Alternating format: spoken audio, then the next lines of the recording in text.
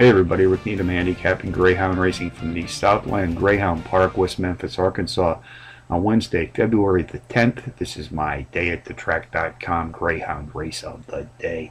Take a look at the race one opener today, folks. 4 p.m. Central Post time. It's a grade TAA affair. Some nice pups sprinting 334 yards.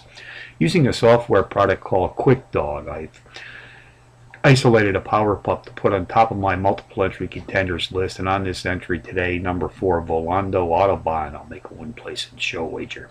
Also like to play the boxed exotics the box gimmicks here at Southland. So along with number four I'll be boxing number two SG's Yogi Berra number one Volando Sarina and number seven WW's Showpiece.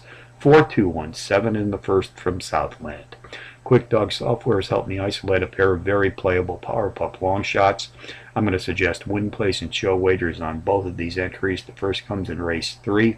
Win, place, and show in a four to one shot. Number four, Axon Jackson.